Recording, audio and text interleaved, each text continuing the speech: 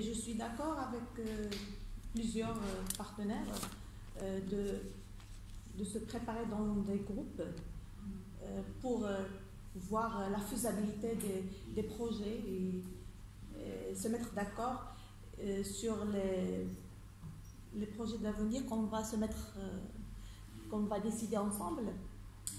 Du moment qu'il y a aussi un diagnostic déjà fait, qui ont déjà fait euh, l'association, euh, la colombe, euh, qui doivent, yeah, ça veut dire la,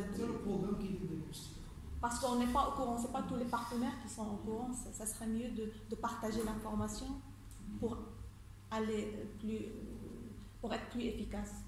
Voilà.